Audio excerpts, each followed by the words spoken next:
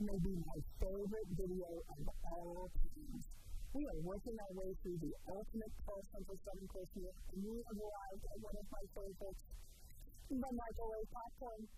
This course is very bad for productivity because when someone pops a bag, the aroma floats through the call center all the heads pop up to see who's bringing popcorn.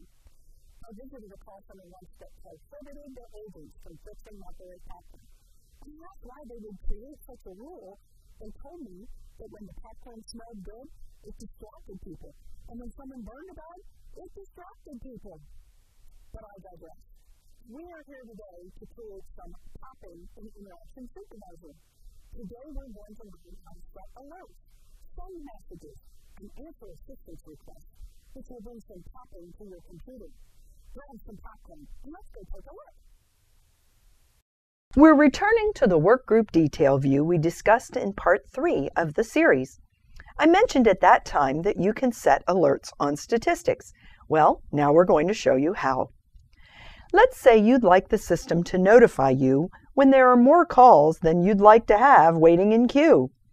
Notice the statistic called Interactions Waiting. Place your cursor on that statistic and right-click your mouse.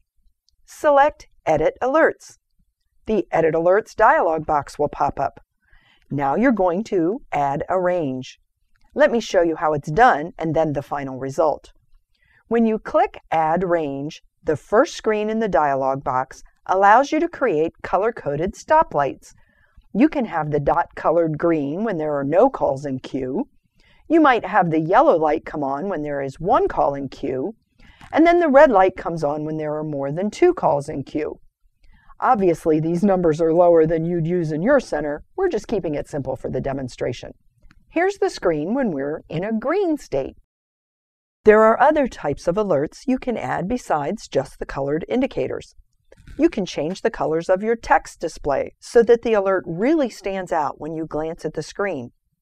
You can have a sound play on your computer speakers and you can send a desktop alert out to your agents. You can even send an email to other people in your organization notifying them of your alert condition. One caveat to note about sending emails as part of your alerts. You must have a permission in Interaction Administrator turned on called Allow Handler Trigger Alerts.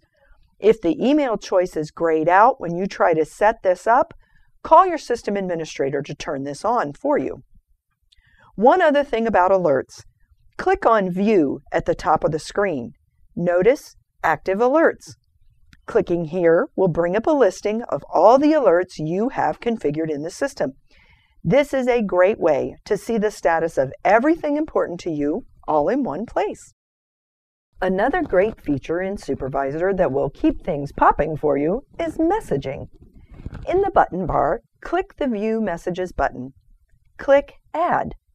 Now, select the agents and or work groups you want to receive the message and click OK. Now you can type the message.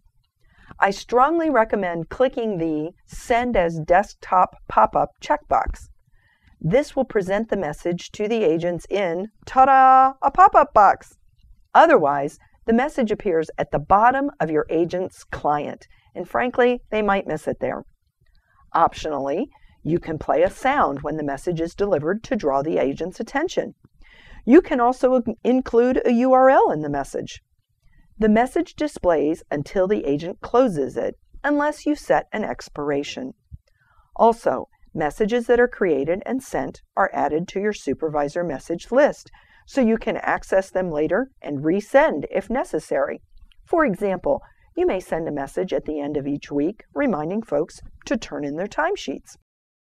Finally, we want to show you how to use assistance requests. This is a great time-saving feature. How many times have you looked up to see a line of agents standing in the doorway of your cubicle looking for someone to help them with a problem they are having on their current call? Using the assistance request feature, they can line up virtually with all the supervisors you have online at any given time. Here's how it works. Your agent needs help with a call. They click the Assistance button. The Request Assistance dialog pops up, and the agent can type a brief message describing the problem. Immediately, the assistance response dialog pops up on the screen of all supervisors designated to provide support for this queue. The supervisor clicks Respond. At this point, they can accept the request and help the agent or decline if they're involved in something else. When they accept the request, the agent is notified of which supervisor will be helping them. Now, the supervisor has all of the buttons active for the specific call and they can listen or coach or join or record, all right from the assistance response dialog. And that's it for popping alerts, messages, and assistance requests. I'm headed back to the break room to make some more popcorn. I'll talk to you again soon.